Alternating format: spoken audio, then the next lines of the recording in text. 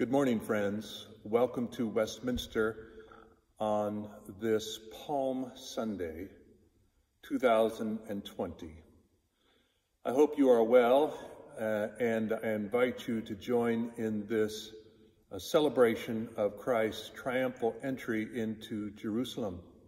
As a part of our worship today, we will be celebrating communion together and you may ask, how are we going to celebrate communion together?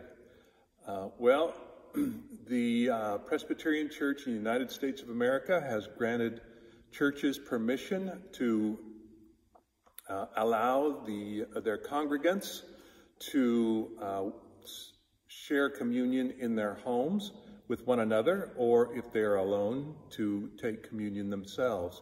And so, as a part of this worship service, I'll be uh, leading a communion liturgy.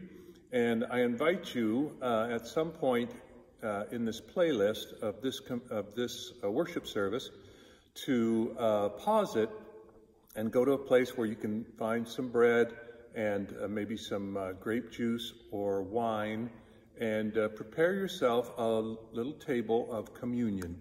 And if you are alone, know that uh, the folks at Westminster and Christians around the world who are sharing uh, the Eucharist uh, today are joined with you. And at the appropriate time uh, in our worship service, I invite you to uh, take uh, the bread and the cup. if you are with others in your house, invite you to share communion with one another, serve one another the communion saying, uh, when you offer the bread, the body of Christ broken for you. Uh, when you offer the cup, uh, uh the cup of salvation. And in that way, uh, not only proclaim those bonds that hold us with to Christ in this Eucharist, in this outpouring of, of uh, God's grace, but also those bonds that hold us together as families and as a community of faith. So we hope that uh, you will relax, enter into the worship, find God meeting you in the place you are at. Know that you are in my prayers and in the prayers of the deacons and elders of Westminster Presbyterian Church.